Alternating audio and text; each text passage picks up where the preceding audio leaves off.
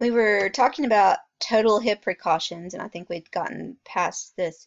So we had talked about premedicating them, um, not only treating when they have pain, but anticipating their pain and treating them before they go to physical therapy, prevention and early detection of DVT. One of the best ways to prevent DVT is get up and get moving. And so that kind of goes along with this one is we want to make sure that they're walking in the halls if that's what's ordered or working with PT and not saying, oh, I hurt too bad to do my PT. That's the one of the best ways to prevent the DVT. Other things that we can do. TEDS and SCUDS. TEDS are um, sometimes called TED hose and they are these white, um, tight, kind of look like pantyhose things except for they stop at the top of the leg and those are excellent at preventing DVT. They have shown time and time again in very robust studies to decrease the risk of DVT. SCUDs, SCDs, um, they're called both. Those are the things, um, this stands for compression device, sequential compression device. And so those are hooked up to a motor. And so it has to plug in. And they kind of wrap around the legs. They have a Velcro fastener and they're plastic and then they kind of squeeze the leg. So it'll start at the ankle and squeeze, then release, and then it will squeeze around the calf and release. And they do that just by um, filling full of air. So it's kind of like a blood pressure cuff a little bit, but it's sequential. So it goes ankle, calf, upper calf, like that, and then it starts over again. And again, these have been shown time and time again in robust studies to really decrease the risk of DVT. We want to avoid pillows under the legs because this can um, put pressure in that one spot and allow blood to pool and this can actually increase the risk. If we absolutely have to put a pillow under the leg, we're going to turn it lengthwise so it's pretty much goes under the whole entire leg and then we can use it like that to kind of float the foot a little bit but for the most part you want to avoid pillows under the legs because that increases the risk of DVT. Have the patient flex and extend the toes, feet, and ankles hourly. We're going to assess for calf pain and maybe the Homans sign. This used to be a staple when I was in nursing school, and you might still see this on some of your assessment sheets asking was the Homans sign positive or negative, but it's kind of going out of fashion because research isn't backing it up as being a very good assessment tool just in case you still see it uh, someplace that you go to work for, Homans sign is just we're assessing for calf pain when we dorsiflex the foot. So you kind of held their leg straight and push on the top part of the foot a little bit. And if they complain of that creating a sharp pain, then that'd be a positive and sign. And then it needs to be followed up with um, something more detailed to see if there's a blood clot now we kind of just go by um, calf pain. And if one calf is having a lot more pain than the other calf, that's a pretty good sign that something's wrong. Early ambulation, I already talked about up here. That's why we give them medicine. Anticoagulants like Lovenox, we'll give Lovenox injections to the stomach and probably within the first month of you doing clinicals, you will have given all the Lovenox you can ever hope to everyone to give. You'll give lots of Lovenox at clinicals. It's just a sub-Q injection into the uh, tummy, and they're pretty easy to do. Of course, it does put them at increased risk for hemorrhage. So when anytime someone's on a blood thinner, yeah, it's great for reducing the risk of DVT, but we have to then keep keep a closer eye on the incision, make sure it doesn't start bleeding again because um, it increases the risk for hemorrhage there. Okay, you're going to get very familiar with these. This is part of the paperwork that you do in clinical, and this is called your priority problem plan or priority problem sheet. And we're going to be doing some in class and kind of build up a library for you. And so you won't really be turning these in, but you might be copying them. So I have three here that we're going to do together in class, and hopefully you can get a patient with a connective tissue disorder, such as um, recent hip surgery or knee surgery or something like that, and you'll have this part done. All you have to do is copy it. So medical diagnosis is the first part here, and post-arthroplasty is what I chose for my medical diagnosis. So they've had um, hip or knee replacement. This would fit either one. Pathophysiology. I found that on page 9, 951 where it talks about arthroscopic surgery on, well, just under the pharmacology capsule. And so I summarize that. Arthroscopic surgery removes loose bodies and repairs defects and is the surgical treatment of choice for osteoarthritis of the hip or knee when intractable pain is present. Arthroplasty of the hip or knee involves total joint replacement. Now, here's the good part. These are already done for you in the book. So look on page 954 in that green box in the third one down. It says impaired physical mobility. I copied that word for word as you can see right here and that's what a priority patient problem is. In this book it's referred to as the nursing diagnosis. Nursing diagnosis and priority patient problem is essentially the same thing. So where we ask you to put the priority patient problem, if you can ever find nursing diagnosis in your book, that's what goes in that place.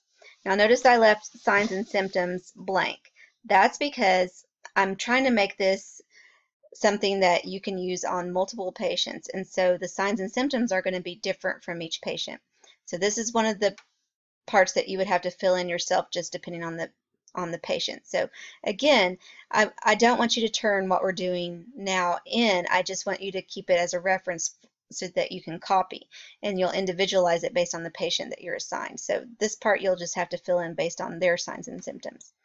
The goal, again, I copied it word for word right there from page 954 across from impaired physical mobility. It says physical mobility without complications of immobility um, and then all the rest of this stuff. That's um, a great goal or outcome and this type of writing, it's okay to copy. I know you've been told about plagiarism and, and that, oh, that's cheating, but care plans are meant to be, or priority problem plans, they're meant to be copied. So don't be afraid to copy it word for word. That's that's what they're for.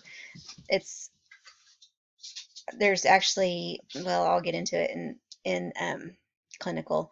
Now is not the time, but that's we're supposed to copy care plans. That's we're not supposed to invent them on our own. So interventions. The green ones don't have the interventions with them, but as you'll see on our next one, some of them do. But the interventions are in the text. So on page 955, you see right in the middle of the page it says impaired physical mobility in bold and I picked out all of my interventions from that paragraph right there. So the first one I found was about three, four sentences down. It says reposition the patient as allowed. And so I copied that. I added every two hours because that's typically when we're going to reposition a patient. Next, I have inspect pressure areas for redness.